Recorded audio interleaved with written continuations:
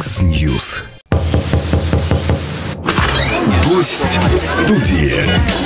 Здравствуй, мил человек. Проходи, гостем будешь. Выпьем, закусим, о делах наших скорбных покалякаем. Гость в студии. Уважаемые радиослушатели, гость студии сегодня органистка Евгения Лисицына. Доброе утро еще раз. Доброе утро. А, И мы пригласили Евгению Лисицыну в студию, поскольку 6 мая в субботу организуется настоящий такой пир для гурманов органной музыки.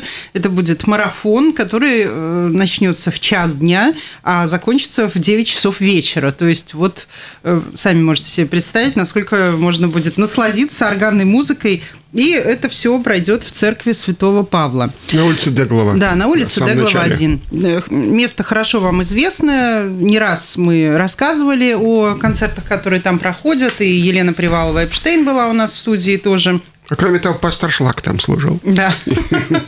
Ну вот, и э, Евгения Владимировна, вот эта идея, она принадлежала кому? Конечно, Елене. Елене, я да? просто Мгм. восхищена, потому что это большая редкость. Что-то я плохо помню. Бывали ли, ли у нас такие марафоны? Во всяком случае, я не участвовала, может быть, и бывали, но я не знаю. Но Елена вообще меня восхищает тем, что она по существу перенесла центр органный Да. из известного места на улицу Деглова 1 в церковь Святого Павла. И там действительно просто очень происходят Действительно, интересные Святого события, Павла? причем в огромном количестве. Да, у нас Я становится восхищена. хорошим, в хорошем смысле конкурентом Домского Больше собора, да? того, я вам должна сказать, что это все доступно. Да. Понимаете, в отличие, скажем, от Домского главного собора, да. нашего. Да, куда да, так просто еще не попадешь. Да. Да, и дороговато да, бывает. тут да. каждый имеет возможность пойти там положить. Вход за пожертвование, да. Да, Мгм. да. Можно ну, копейки какие-то положить, и прекрасные музыканты играют, и А как прекрасные вы оцениваете программы. орган в этой церкви Павла? Простите? Орган как вы оцениваете? Вот э, э, я опять же сравниваю с Домским. Начать с того, что это тот же самый Валькер. И Домский Валькер, и здесь Это же Валькер. фирма, да? Я должна сказать, например, Домский не наполняется этим органом, этими звуками органа. То есть он Как бы великоват он, сам Домский, э, да, получается, Или для органа? помещение великовато, или орган. Но Маловат. он романтический, это естественно.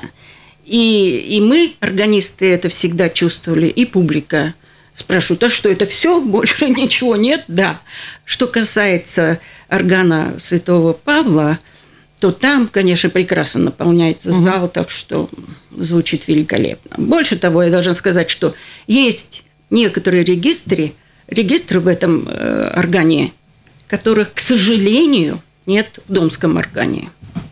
Изумительные голоса прекраснейшие. Но Валькер – это есть Валькер. Есть один большой недостаток у этого инструмента.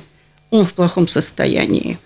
На нем чрезвычайно трудно играть. У него вся механика, хотя это не механика, пневматика, но я имею в виду, в общем смысле слова, механика, вот это вот все соединения все, они, конечно же, мне кажется, там никогда не было никакого ремонта. А органу уже сто лет. Это вообще чудо, что он так держится еще. Кстати сказать, вот э, Елена мне предложила в мае сыграть несколько концертов, из которых в одном я собиралась сыграть Регера «Вишен Лойтунс Дер Моргенштерн». Такая чудесная фантазия и фуга. Она мне сказала, невозможно сыграть Регера, не тянет. Там что-то случилось, что не хватает воздуха для инструмента, вы понимаете? То есть надо его приводить в порядок. Но это, я прекрасно понимаю, что это все повиснет в воздухе, как это было с Гертрудой, хотя Гертруда уже, как бы я, правда, еще там не играла. Э, В общем, говорят, что Гертруда в порядке, якобы. Тоже там чудесный инструмент, э, замечательный зауэр. И сейчас вот там э, идут концерты в полную мощь. Ну, так вот, Павел. Так что э, слушать и публика даже, она реагирует на то, что это замечательный инструмент, всем очень нравится.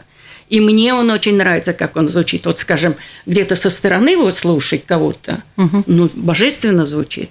А А, вот садишь и на- начинаешь с ним бороться. Потому что, например, даже играешь на двух мануалах, правая рука соло, левый аккомпанемент. Если играешь быстро, то просто не совпадают руки. Пока это все происходит очень По сложно. ногами я видел, там босиком играли на этом органе.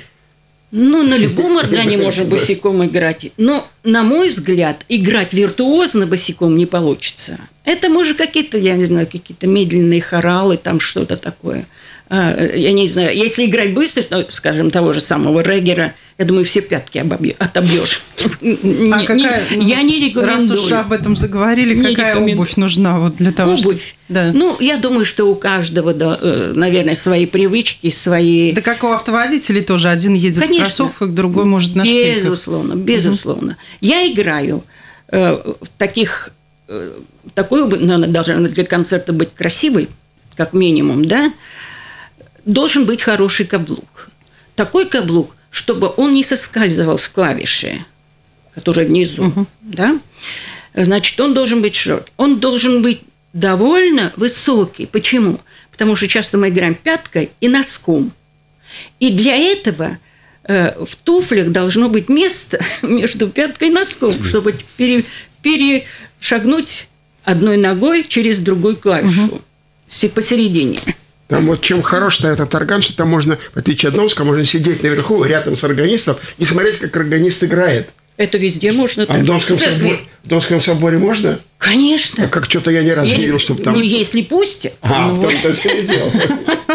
Дело за малым, чтобы Да, пустили. да, да, да, Я да, напомню, что у нас в гостях Евгения Владимировна Лисицына, органистка, и мы говорим сейчас э, о мероприятии, которое пройдет 6 мая. Церковь Святого Павла.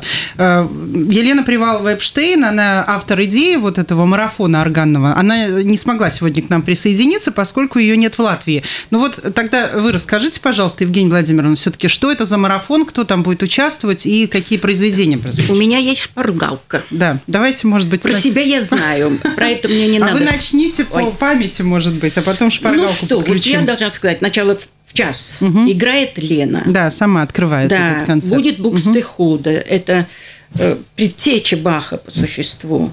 Потом будет Мендельсон через час. Там будет Каждое 50 произведение, каждый автор будет звучать час, да, примерно? Ну, концерт, Мгм. скажем, потому что Да. есть концерты с разными авторами. То есть концерт будет происходить в течение э, 50 минут. 10-минутный перерыв, и начинается следующий. Да, а в перерыве нам ступень. обещали, что угостят кофе, и э, можно будет пообщаться. Да, так, так заявлено. Они Я же, не- они же что-то было до Баха. Мне казалось, с него начинается как раз органная музыка. Ну что вы, скажем, э, э, масса всякой музыки до того было написано за сто лет до И сохранилось.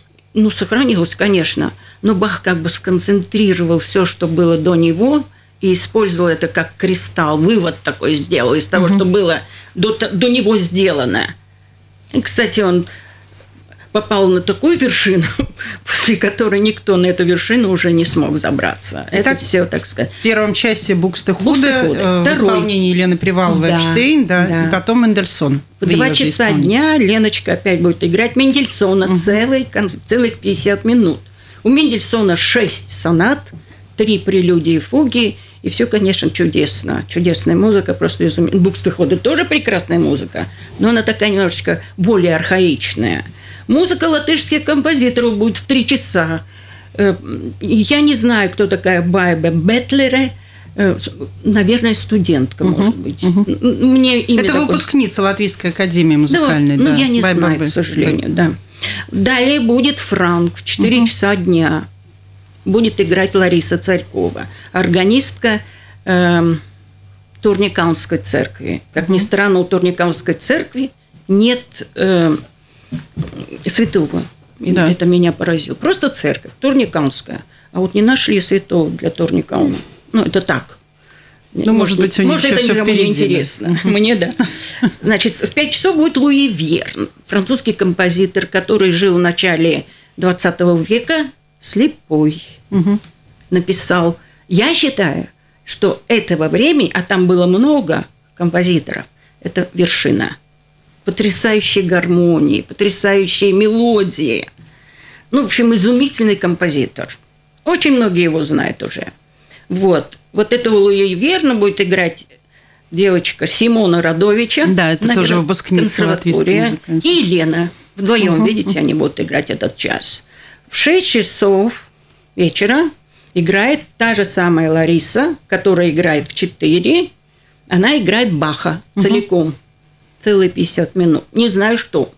Про себя я знаю, что я играю Баха. Ну, дальше вы как Значит, дальше играю я в 7 часов вечера. Там будет Бах. Будет партита соль минор. Зайге грюсит Езу Гютиш. Замечательная партита. Кстати сказать, почему-то Лена впервые ее, я не так давно играла, первый раз услышала и была восхищена этой музыкой. Она действительно восхитительна. Хотя что у Баха не восхитительно, я не знаю. Вот. И любимый всеми после Баха Вивальди. Да. Вивальди. Который не Вивальди- писал для органа. Для органа. он не писал для органа. Хотя служил в церкви, я была в Венеции, я видела церковь, в которой он служил. Я не знаю, насколько это правильно, э, правда ли. Он был монах, рыжеволосый. И такой, знаете, как бы это сказать, не очень послушный. Он, например, Строптивый. вздумал, да, строптивый. Он вздумал закурить в церкви. Я не знаю, правда ли это, легенда, может быть. Его за это оттуда выставили, за то, что он курил в церкви. Вот. Но не в этом дело. Он написал массу прекраснейшей музыки, чудесные концерты, их там чуть ли не 400 концертов. И все это обнаружено было в 20 веке, представляете? Где-то под спудом, в каких-то подвалах лежал, и вдруг «А, Вивальди. Вот так вот. Иоганн Себастьян Бах был в восторге от Вивальди.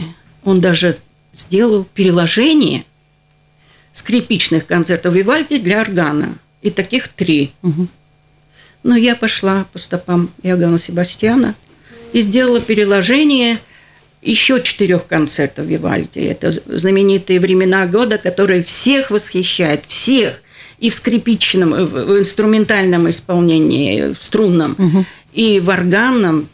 Даже некоторые говорят, что достаточно было бы органного переложения. Но это, понимаете, это само все делалось. Это не, не выдумано, это не, не то, что я себя заставила. Это вот, вот просто От души. от души, да. Мы сейчас прервемся ненадолго. Новости и реклама на Болткоме. Напомню, что мы сегодня э, в студии вместе с органисткой Евгенией Лисицыной говорим о мероприятии, которое называется э, «Органный марафон», и он пройдет 6 мая в церкви Святого Павла на Деглова 1, месте хорошо известным нашим радиослушателям. Не переключайтесь, участвуйте в нашей программе через несколько минут. Mix News. Гость в студии. Здравствуй, мил человек. Проходи, гостем будешь. Выпьем, закусим, о делах наших скорбных покалякаем. Гость в студии. В студии сегодня органистка Евгения Владимировна Лисицына. Мы говорим об органном марафоне, который пройдет 6 мая в церкви Святого Павла.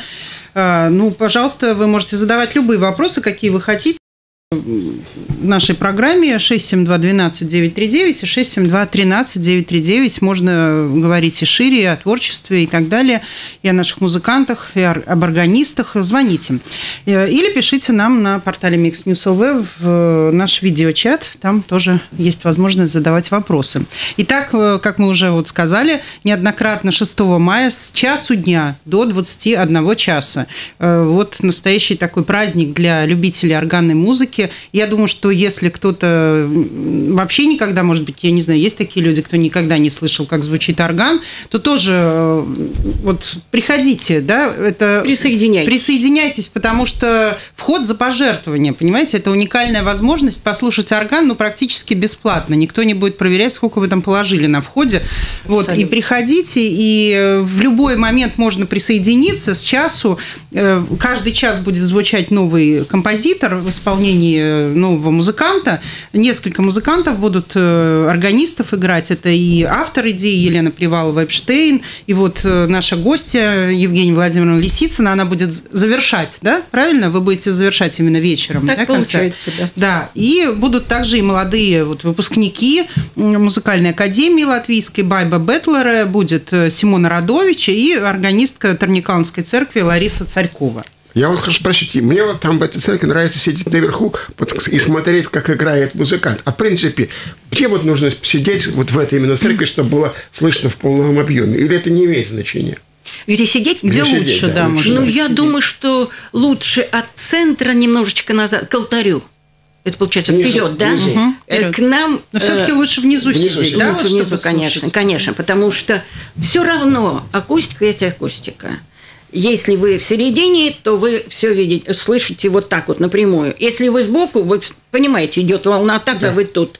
Значит, искажений будет, потому что инструмент это тоже стереоинструмент, потому что в одной стороне у него педали, в др- э, педаль, пардон, в другой стороне у него первый мануал, где-то еще второй мануал, в данном случае я имею в виду эту церковь, да, и, конечно же, будет не совсем правильное восприятие. Лучше всего, конечно, слушать э, спиной орган, как бы вот затылок. Лучше как-то вот уже это выяснили. Вот, не в лоб слушать, как это раньше было в Домском, да, а сидеть спиной. Все-таки спиной. И лучше ближе к алтарю по центру. Где-то в этом примерно. Ну, Лучше для того, чтобы там один раз увидеть вообще органиста, как красиво. он ведет себя, да, вы можете попроситься на балкон, я думаю, что Можно. церковь Святого Нет Павла никаких разрешат. проблем, да. посмотрите, я вот как раз Поднимайтесь, была, сидите, когда играл смотрите. термин Вокс и Да-да-да-да. э, органы. Мне было Да. очень интересно, как это все Конечно, будет именно Конечно, видно. интересно, Да. конечно.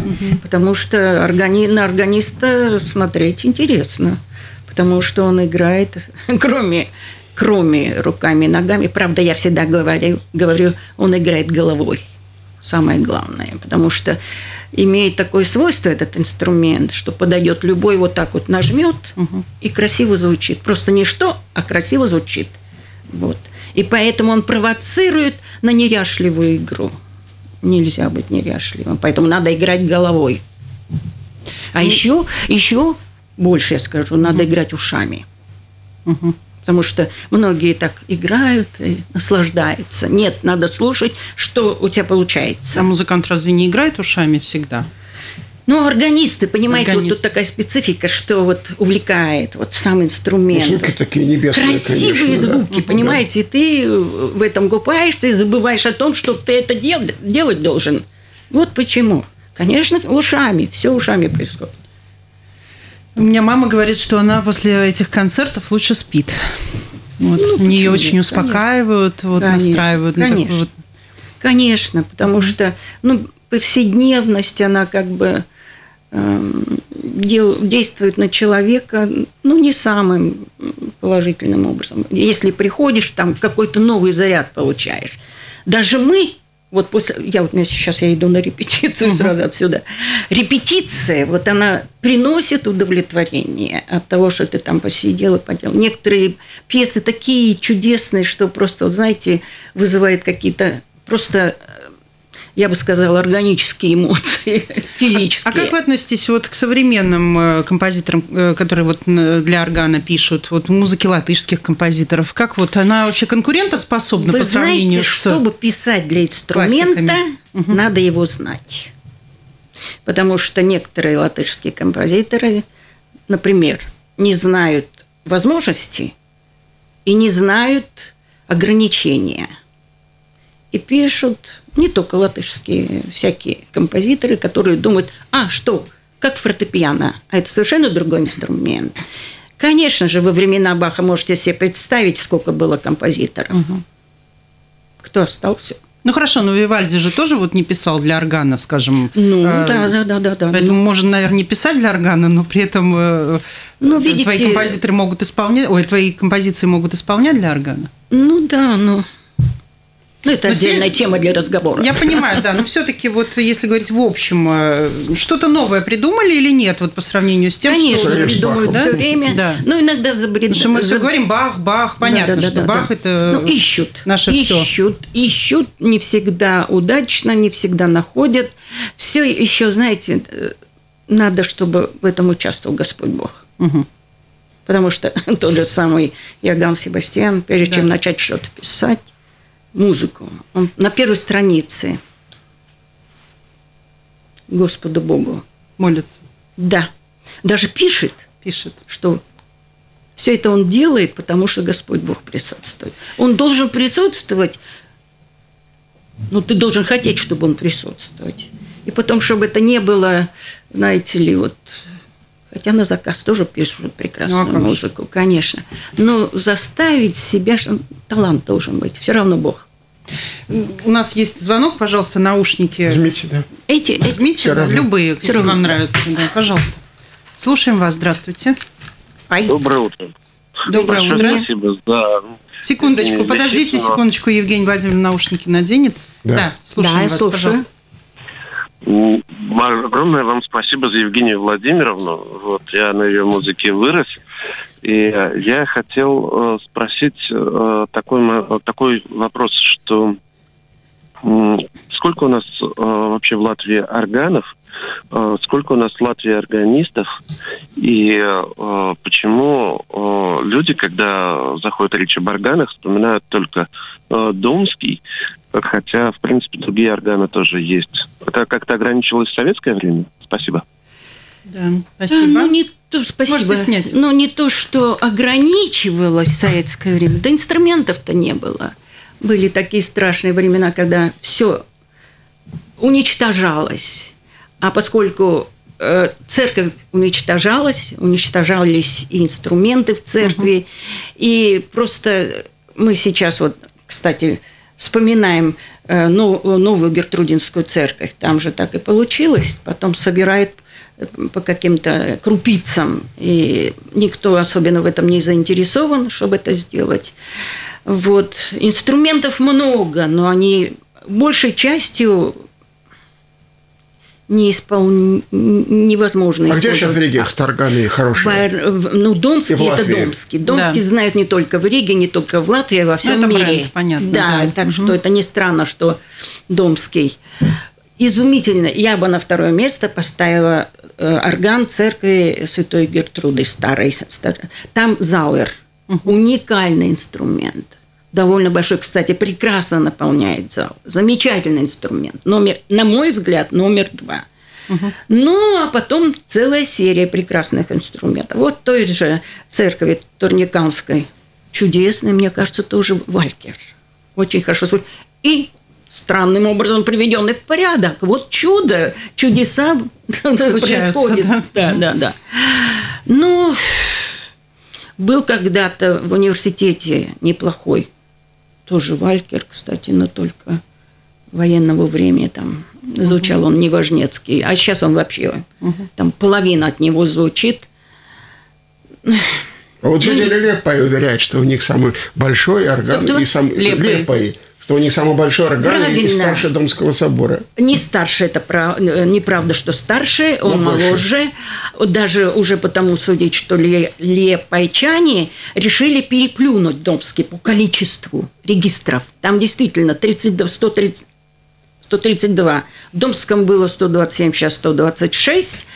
Из них 10, э, эм, 10 регистров, э, просто, эм, так сказать, трансмиссия. То есть они состоят из имеющихся, но это не, Не самостоятельные, не да? самосто- это не просто вот свой ряд, да, э, составленный из других э, э, регистров. Э, Да, он очень большой, но он очень бестолковый. И звучит он, конечно, ужасно. Это, как говорится, местные мастера решили, вот буквально решили сделать орган больше, чем домский. Так что он, конечно, не, не раньше домского Но возник. больше. А? Больше, да, но звучит он неважно, неважно. Ну, вообще, а какой можно... И играть там очень трудно, безобразно. Во-первых, он физиологически, там, например, чет- четыре мануала, четыре мануала, как в Домском. И вот до этого мануала дотянуться невозможно, вы понимаете? А если ты играешь быстро, что-то там тоже приходится быстро, это просто невозможно играть. Больше того, там есть один огромный недостаток. Кстати, и в Павлион есть этот. Называется репетиция. То есть повтор одного звука. Вот дел, ну, хороший пример – трель. До, ре, до, ре, до. Если ты будешь это быстро играть, так и будет э, зале- э, за- клавиша. Не будет э, э, до, а будет до, ре вместе. И сколько ты не... И так влепай. Мы там писали, и я писала э, Вивальди зиму. Было поздно, конечно, менять программу, но это был как тихий ужас, понимаете? А там же скрипично все вот на этих делах. Вот нет репетиции, вот это большой недостаток. Потом он состоит из нескольких органов. Наверное, туда таскали эти трубы откуда-то с других мест. И просто даже повтор. Там принципа 8, принципа 8 на одном мануале. Там какая-то флейта 4, флейта 4. Вот это вот дублирование происходит. Он, конечно, большой. Там потрясающей красоты церковь барокко. Ну, чудо. Ну, сейчас тоже там собирается что-то реставрировать. Но Ну, можно несерьезно говорить играть. о скольких вот органах, которые у нас, в принципе, есть в Латвии. В Латвии, это да. десятки, На это что? Сколько? Всего органов Да, не знаю, не много. Мгм. Но Хорошо, два, органистов. два самые лучшие. Это, конечно, Домский и Зауэр. Да. А органистов, Евгений Органистов тоже очень много. Много. Тем более, что они все время подрастают. И все время, вот видите, эти две девочки будут, а я даже их не знаю. Понимаете? И вот. Хватает им, э, так сказать, нашим органистам, где А. играть, и, э, или это такая Нет, уже конечно, бешеная очередь нет, выстраивается? Конечно, нет, конечно, не хватает. А где... Ну, э, кстати сказать, вот мы с Леной говорили, она сказала, что не хотят играть у нее органисты маститые, потому что не платят. Но их понять можем, понимаете, в конце концов, это работа за бесплатно играть. Ну, кто... Я пять лет в Гертруде играла. Ни, как это, ни цента, ни сантима не получала за это. Больше того, я даже еще... Реклама, конечно, была очень такая э, маленькая, Малень- небольшая, слабенькая. слабая. И я за нее платила еще плюс. И так пять лет я в Гертруде проиграла. Благотворительно. Причем это в год примерно 10 концертов было. Надевайте наушники, у нас Да. звонки еще есть. Пожалуйста, слушаем вас. Здравствуйте. Доброе утро. Будьте добры. Доброе а вот э, как-то э, совсем, значит, забыто очень интересно. В свое время, в начале 80-х годов, я один, был одним из руководителей, которые э, руководили э, реставрацией э, э, старого города. В том числе, значит, один из первых объектов, который был отреставрирован, это была церковь реформаторов. Э, Руководитель э, польской фирмы «Показат», который руководил э, со стороны польской стороны этими объектами, был такой господин Войнаровский. Это известный польский, как говорится, органист, в том числе, который много сам занимался реставрацией органов, и в том числе он провел работы по реставрации органа в церкви реформаторов. Почему об этом объекте никогда ничего не говорится? Хотя я сам лично слышал, как говорится, как э, игру на этом органе, и впечатления очень прекрасные. Да, спасибо вам. Что-то знаете Э, об ну, этом? знаете, вот в начале нашего нового времени у меня был э, концерт в этой реформатской церкви. Мне пришлось вести мой собственный инструмент, чтобы хор был, какая-то такая была сложная программа. Ну, никакого органа, может быть, он там был, но он молчал. Возможно, по-моему, что-то разговор был о том, я спрашивала, это было так давно уже теперь. Орган там не звучал. Не звучал. Может быть, сейчас что-то изменилось, но я не слышала, чтобы там кто-то что-то делал. да. Спасибо вам за подсказку. Я пойду туда и буду созваниваться, и буду узнавать. И Если так, это же замечательно. И тем более, если он был и его ремонтировали, это значит, что он играет. Но я ни- нигде не слышала об этом упоминании, что там Никаких происходит. Не- не- ничего. не слышала. Спасибо. Буду узнавать. Спасибо большое. Да, если есть еще вопросы, пожалуйста, задавайте. 672-12-939, 672-13-939. Слушаем вас. Здравствуйте. Э, Доброе утро. Доброе утро. А Здравствуйте. скажите, пожалуйста, вот я знаю, что э, вот церковь в Аглоне, да, наверное, это место известно вам тоже, э, там был давно-давно, еще даже в советское время он там был орган. Значит, это был старый орган, и он, на нем играли. Вот и что сейчас сегодня есть, он там нет, и курсе вы делаешь э, насчет этой церкви в Аглоне. Аглона. Мгм, Спасибо. Спасибо. Аглони. К сожалению, я ничего не знаю, что сейчас в Аглоне. Я играла на нем вот в начале 90-х, и с хором, и все. Он был в ужаснейшем состоянии. Ужаснейшем. Просто, как и многие другие, вот после советского времени.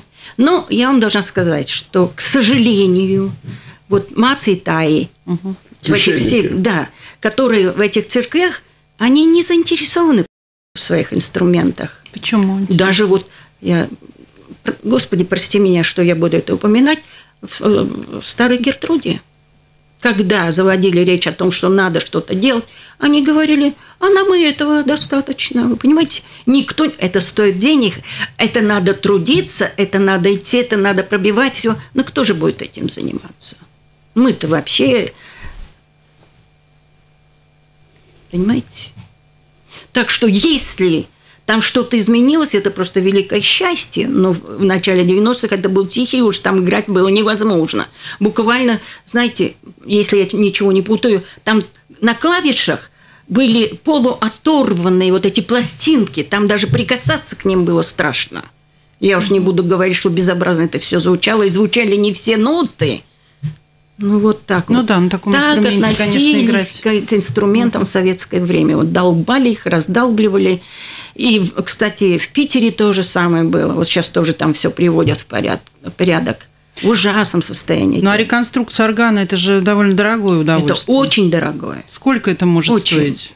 От, ну, в рамках, примерно. Ну вот Гертруда, Да. может быть, я что-нибудь сочиняю, точно не знаю. По-моему, там что-то больше 100 тысяч евро реставрация. Но, ради бога, простите, может быть, я какую-то неправильную информацию. Я Ну, э, понятно, этим не это. занималась и потому не знаю. Хотя было время, когда мы в Гертруде что-то пытались э, евро э, там помощь получить. Ну, все это все это все А забюрократизировано. вообще э, на восстановление органов можно получить было или было какую-то европомощь? Есть было, такие вещи? да? было. Но там, как понимаете, как э, две стороны медали есть и куча всяких Это я знаю. куча да, это, всяких. конечно. И вот мы на это нарвались в самом начале, когда мы занимались этой Гертрудой. То есть бюрократия страшная. Ну, понимаете, все хотят откатов, все не думают о деле, а думают о том, чтобы положить в карман. Вот это тихий ужас. Это мы испытали. Больше того, я расскажу про мотор, который мы все-таки установили в Гертруде. Мы боролись просто за это невероятным образом. Мы нашли в Венгрии чудесный э, мотор за 3000 евро. Прекрасный мотор, уже знали все, и мы уже предложили его. Вы знаете, сколько стоил мотор? 9 тысяч. Вот так все. Да, у нас в гостях, напомню, сегодня Евгения Владимировна Лисицына. Впереди у нас прекрасное мероприятие 6 мая в церкви Святого Павла. Можно Пройдет словечко? марафон. Можно Конечно, конечно, До марафона я марафона. всех приглашаю на Мусорского. Давайте. Буквально завтра. Куда? Туда же. Туда же. Завтра будет, да, Мусорский. Пожалуйста, приходите. Чудесно звучит на органе. Да, я его играла в по Питере. средам у нас, да, встречи? По средам В тоже. Питере играла. Пришла одна пианистка и сказала после концерта, я не знаю, как теперь это играть на фортепиано. Понимаете, это чудесно звучит на органе. Вы будете сама, да? Сама И все. Елена Ну, еще еще, не будет да? Или. Елена тоже будет участвовать? Нет, нет, Лена приезжает послезавтра утром. Ночью летит она. То есть она вот к шестому, к марафону, Да, да? конечно, Вот, конечно. э, значит так, у нас э, такие планы. Завтра э, все приходим слушать Мусоргского. Во сколько? э, В церковь Святого Семь. Павла в 7 Семь. часов. Всегда в семь, Да, в Деглова простые дни. 1. Да. Это отличный вот, э, Да. отличный вообще способ Чудесная пойти в длинные вещь. выходные. Вот Да, так, да, вместе да, с да, да, Мусоргским. А Да. 6 мая, это А 6-го? суббота, не забудьте, да? Да. С часу до 9. Вот в любое время вы можете подойти, любое, тихонечко да. зайти. Хотите и... такого композитора, хотите Приходите, такого, хотите такого смотрите, органиста, слушайте. можете такого. Да. Спасибо вам, Праздник, Евгения наш праздник. Да, спасибо вам Спасибо большое. Елене Приваловой. Елене Приваловой Эпштейн обязательно тоже, Да, конечно, спасибо. от нас Вот огромное просто, спасибо за знаете, вот этим э, все- задвигала за труд. эту нашу жизнь стоячую, болотную. Да, спасибо всем и всех э, ждем в, э, в церкви Святого Павла и завтра в 7 часов, и вот 6 Милости мая. просим. Да, с часу дня. Спасибо вам и до Спасибо свидания. вам. Хорошего Спасибо, дня вам. До спасибо. свидания.